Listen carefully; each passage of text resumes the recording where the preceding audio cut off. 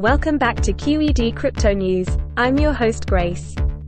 In today's segment, we'll be taking a closer look at Ethereum and XRP's recent performance and how VC Spectra presale is promising a whopping 900% gain. Let's start with Ethereum. For those new to the crypto world, Ethereum is more than just a cryptocurrency. It's a technology that houses digital money, global payments, and applications. Being open source and decentralized, it's also home to many other cryptocurrencies and enables the execution of decentralized smart contracts.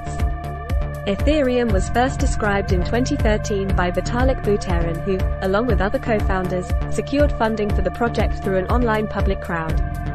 Today, Ethereum stands as one of the most successful projects in the crypto space with its native cryptocurrency Ether second only to Bitcoin in terms of market capitalization. What sets Ethereum apart is its unique network structure.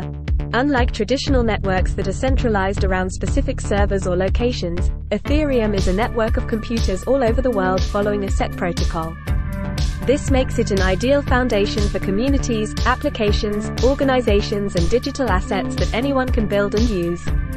Now let's shift our focus to VC Spectra presale that's causing quite a buzz in the crypto community by promising an impressive 900% gain.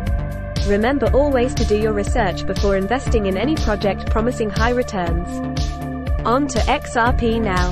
Like Ethereum, XRP is also making significant strides in the market but will need more time to delve into its performance, something we'll save for our next update.